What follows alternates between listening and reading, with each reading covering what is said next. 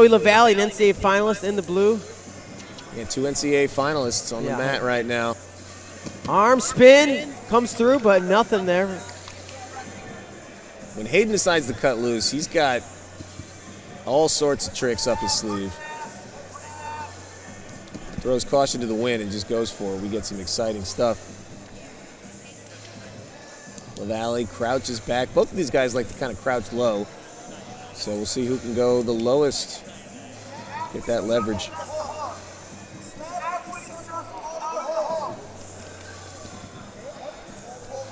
Just like his brother, Hayden likes the underhook. We'll see Trent throw them later. We'll see if any equipment gets damaged. Should we scoot back a little bit? Should we? we have to. Little too close to the mat. I'm gonna hide behind Izzy and the camera here. they Yeah. can- They can, protect us. Sorry, Izzy.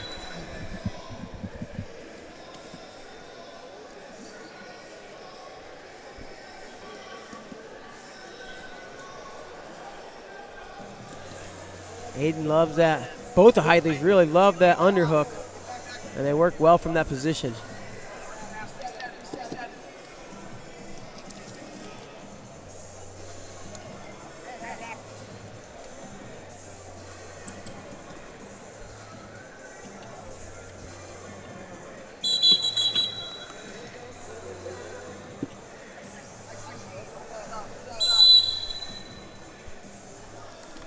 All right, we're gonna see an activity clock soon. Someone's gonna on the clock. And they're pointing at blue as the Valley tries a little pass by. After 90 seconds, if there's no score, you can expect the refs to work towards uh, making sure somebody goes on the clock. And it is going to be Joey Lavallee. He's going to go on the clock first. And again, those cautions, they're not um, the passivity warnings. They're not. Uh, they're not stall calls.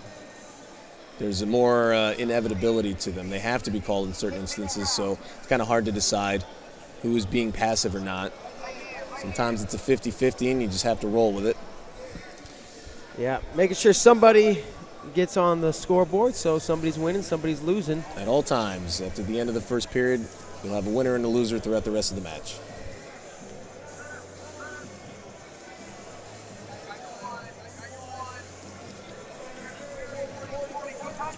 You know, wh- wh- when they changed the, the freestyle rules from the periods to, you know, uh, when you had to win two, two out of three periods of, yeah, everything was two out of three. to 2013 when they did it, they changed it to the cu- current rule set essentially.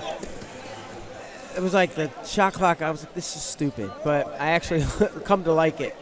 There's a there's a, a, several moves that maybe don't make intuitive sense, but you watch enough freestyle matches and then you watch enough folk style matches, and some things start to click a little bit more. Certainly, the shot clock and criteria. Can leave that whole discussion for another time, but um, you can't really argue too much with the product on the mat. As we go to the break, low score and affair. Not so much action in this one. We had that arm spin right in the beginning for Hidlay. Yep. Uh, Lavallee gives up the activity clock point. Otherwise, not too much. And so, you know, you, you got to think if the, the second period looks a lot like the first, likely that Hayden Hidlay will go on the shot clock unless he really, really makes it clear that he's being more aggressive. It's Lavallee from Reno, Nevada, where he is originally from, then on to Missouri. Hayden Hidlay, originally from Pennsylvania, then down to North Carolina. Lavallee had a solid uh, semifinal win over Jacori Teemer, a late score in that one to give him the win. He was fired up, man. I tell you, he was super excited. Very happy with that win. Hidlay's bring the intensity, no doubt. No, Lavallee I'm talking about. And Lavallee. I heard Hindley when you said that. I was thinking of I hope I didn't say Hidlay. maybe Trent's match. Anyway, thank you for the correction, Mark. Anytime. Uh, yeah, Lavallee Teemer. That was 6-5. Go watch that one in the archives. Oh, and close, close a couple times. Lavallee able to circle himself back to the center. Trent with that, or excuse me, Hayden with that underhook on the left side, driving in. Finally, he's going to get Lavallee out of bounds, so he'll put the first offensive point on the board. He'll go up 2 nothing, and uh, avoid potentially going on the shot clock. Lavallee sitting down on his haunches. He's now with the uh, Lehigh Valley Wrestling Club. That's Coach Buxton in his corner. So making a few moves around the map, but that's an excellent coach.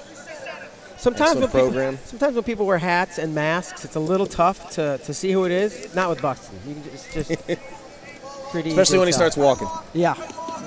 And who stepped out first? I don't know. I thought, uh, even though Hayden was moving forward, I thought he stepped out first. Yeah, So and they're gonna give it. They're gonna give it to Lavallee.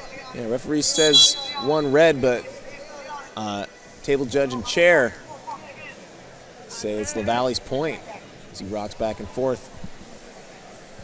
Squatting position, it's two to one. So if Lavallee can find his way to uh, another step out, he'll take the lead on criteria.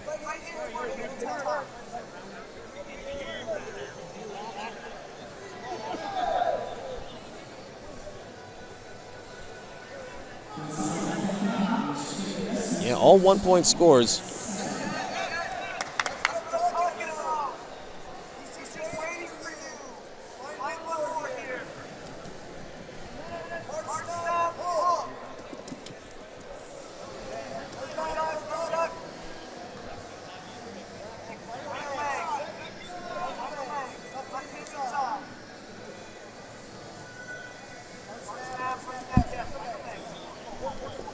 Nice snap there from Hidlay. 40 seconds to go.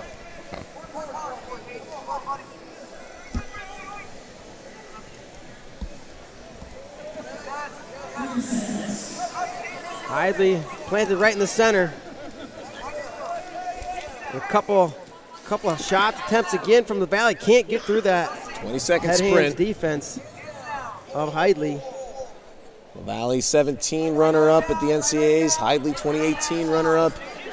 10 seconds. One of them is going to be runner up here at the 2021 Senior Nationals. Looking like it's going to be Lavallee, and that's going to do it. Hayden Hidlay, 2-1, final score, your winner. Hayden looks at the clock.